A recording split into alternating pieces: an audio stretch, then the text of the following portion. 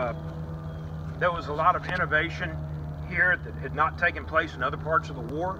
Uh, like I said, I grew up here. I have a, a, pretty extensive collection from living here and just running up on things.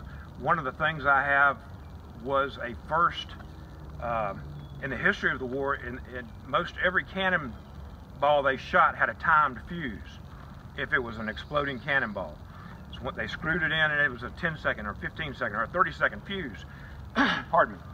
Well, there was a man, a Confederate named Girardey, who came up with the first percussion fuse, and I found one hole here. I have two pieces, but what that was, a very small round thing, smaller than my little finger, and a, a piece came out of it and it had spikes on it, and it was sitting out, and when that hit something, it went in and ignited the gunpowder and blew up. Mm -hmm.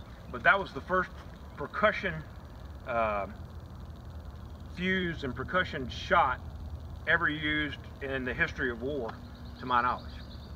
A very rare find. So, but I mean, it's it's very interesting that things like that started. Uh, if it wasn't here, it was right near here. Girardey was actually from Georgia, but I don't know where he was when he invented it.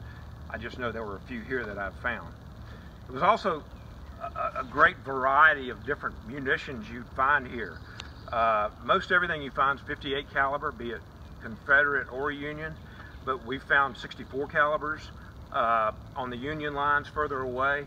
A lot of uh, uh non-muzzle loading rounds, Maynards, Enfields, I mean not Enfields, Maynards.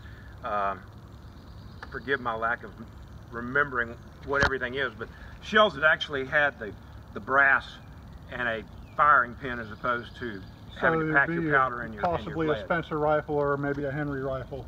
I, I don't think any Henrys, but yeah, Spencers and and um, whatever I said before.